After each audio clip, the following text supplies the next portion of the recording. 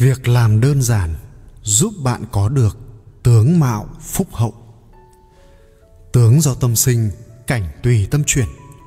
Người có dung mạo dễ nhìn là do tu dưỡng mà có được. Khuôn mặt xinh đẹp cũng là một loại phúc báo. Dù là phúc báo gì, đều có căn nguyên của nó. Giống như tài phú đến từ bố thí, tôn quý đến từ khiêm cung khuôn mặt xinh đẹp đến từ dịu dàng, lương thiện. Đến tuổi trung niên, tướng mạo đã đi vào ổn định, cũng là thể hiện tính cách của một người. Nhiều người khoan hậu, có khuôn mặt có phúc. Người dịu dàng lương thiện, có khuôn mặt xinh đẹp. Rất nhiều phụ nữ trung niên, lão niên có phẩm tính không tốt, vẻ mặt thường cay nghiệt, cũng gọi là tướng bạc mệnh, khắc chồng. Thật ra tướng mạo không phải sinh ra là cố định, mà nó là phản chiếu của quá trình tu tâm và hành động lâu dài. Cũng vì vậy, tướng mạo sẽ biểu lộ ra vận mệnh tương lai của một người. Thật ra, tướng mạo không phải sinh ra đã cố định, mà nó là phản chiếu của quá trình tu tâm và hành động lâu dài. Nửa đời trước của một người là ảnh hưởng từ kiếp trước, nửa đời sau chính là tự mình.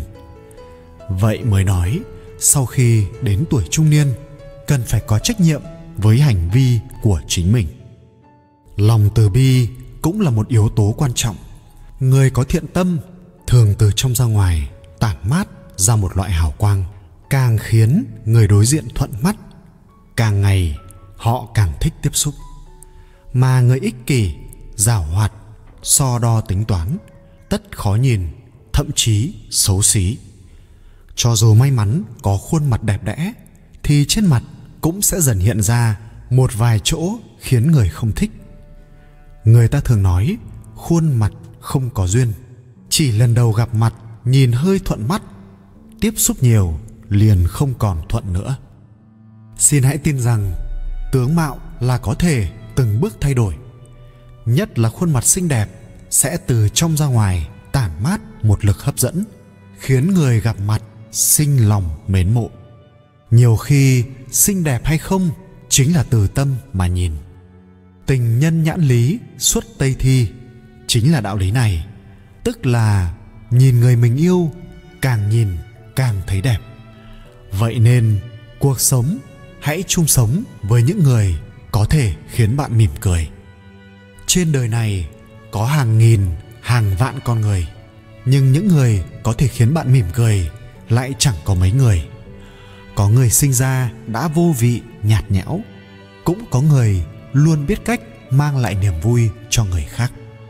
Những người khiến bạn có thể cười mới là người yêu bạn sâu sắc nhất, mới là người dành riêng cho bạn. Người có thể khiến bạn mỉm cười là người quan tâm tới bạn nhiều nhất. Nếu hai người ở cùng nhau mà nước mắt lại nhiều hơn nụ cười, thì người đó chắc chắn không quan tâm tới bạn. Quan tâm chính là không nỡ làm bạn tổn thương, mà chỉ muốn yêu bạn nhiều hơn. Người có thể khiến bạn mỉm cười chắc chắn là người thấu hiểu bạn. Họ biết bạn thích gì, ghét gì, biết cách nhận biết tâm tư của bạn để tâm tới cảm nhận của bạn, đón đầu sở thích và tâm trạng của bạn một cách phù hợp. Người có thể khiến bạn cười chắc chắn là người quan tâm tới bạn. Kỳ thực, một người có thể khiến bạn vui đã là quá đủ rồi. Sở dĩ họ phải dốc tâm, dốc sức làm bạn vui chính là bởi vì họ quan tâm tới bạn, trân trọng bạn. Có thể mỉm cười thì tình cảm mới bền lâu, ngày tháng mới có hy vọng muốn có dung mạo đẹp, trước hết nội tâm phải đẹp. Người có thể chịu thiệt, nhân duyên nhất định sẽ tốt. Nhân duyên tốt, cơ hội tự nhiên sẽ nhiều. Mỗi người khi đang sống, chỉ cần nắm bắt cơ hội một, hai lần là đủ. Người thích chiếm phần hơn, cuối cùng chẳng chiếm được bao nhiêu. Nhặt được một ngọn cỏ, mất đi một rừng cây người mà vừa đến lúc tính tiền, liền cấm cớ đi việc khác hoặc móc hoài không ra tiền.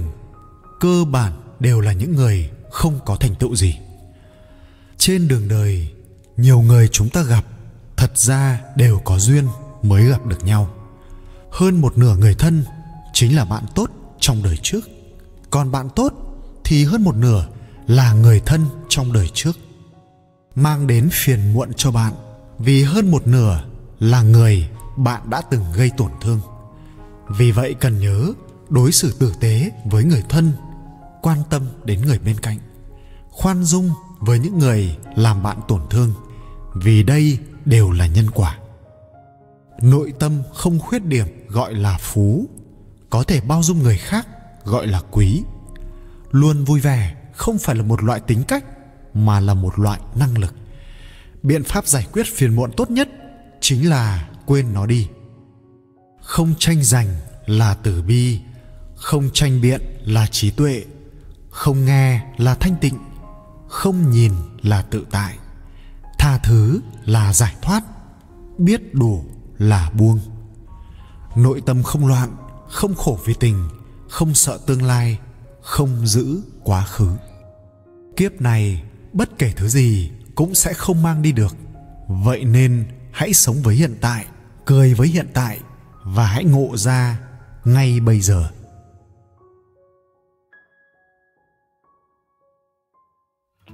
35 lời khuyên quý như vàng của các bậc cổ nhân Nhật Bản. Người Nhật gần như đã đạt đến chân thiện mỹ, do đó những lời khuyên của các bậc cổ nhân Nhật Bản luôn quý giá như vàng dòng, phải học cho thấm.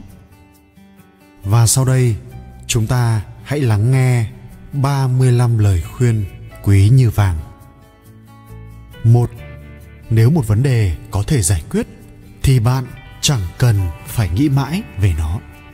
Nếu vấn đề đó không thể giải quyết thì bận tâm về nó phòng có ích gì?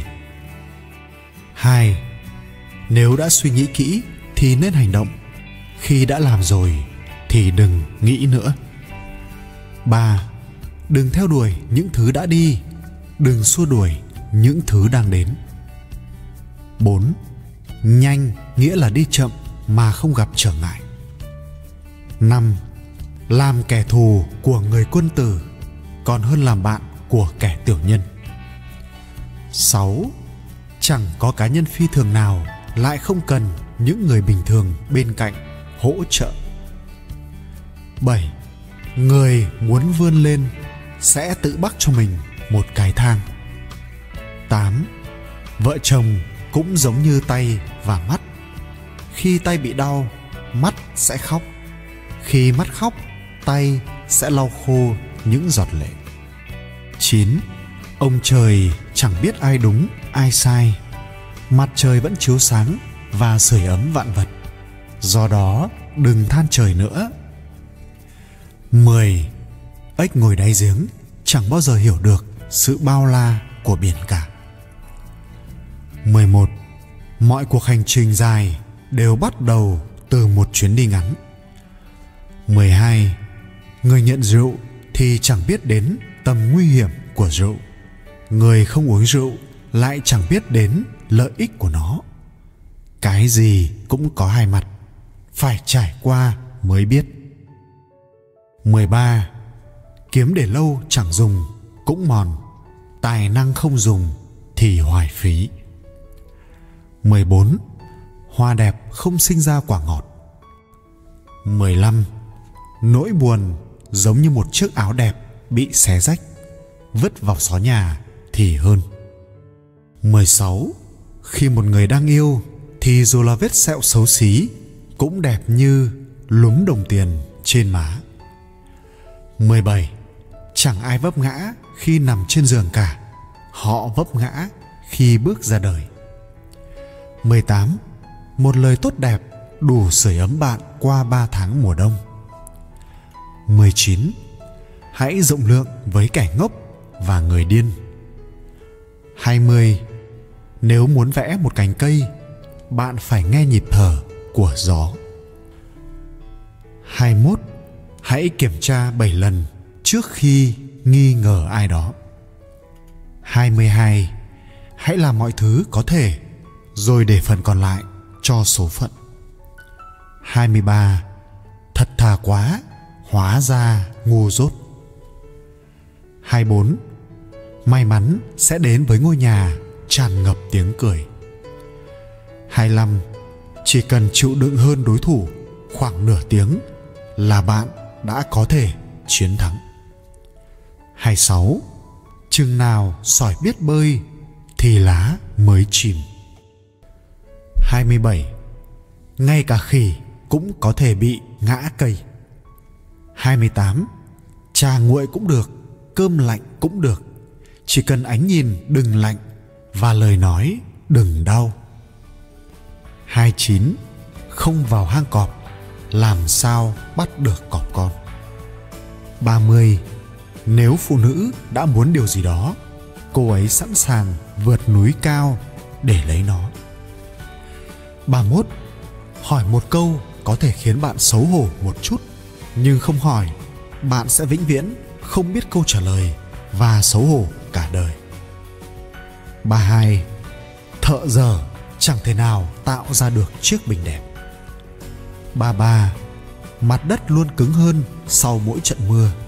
Sau mỗi cơn phong ba, đất dưới chân bạn sẽ vững vàng hơn. 34. Dòng sông sâu nhất luôn chảy trong im lặng. 35. Nếu quyết định đi một mình, bạn sẽ cô đơn nghìn trùng cây số.